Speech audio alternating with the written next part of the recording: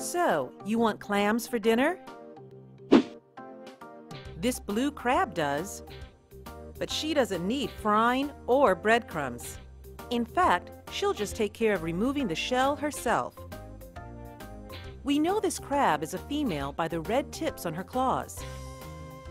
While we may use some small tools to eat crab claws ourselves, the crab uses its claws as a tool to pick apart and remove the meaty part of the clam.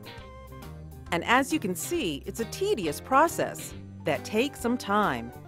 Anyone who's eaten a crab claw can relate to having to work for your meal.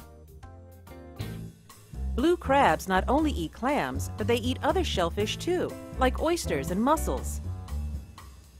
They'll eat almost any vegetable matter or animal, preferably dead or recently dead, sometimes even young crabs. And just like one of those crab restaurants with newspapers on the tables, where they don't mind if shell pieces end up on the floor, the crab leaves its scraps on the floor too. Uh, the ocean floor.